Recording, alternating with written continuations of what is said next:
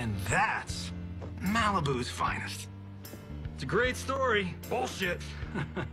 but great. You should seriously consider becoming a screenwriter. What in the actual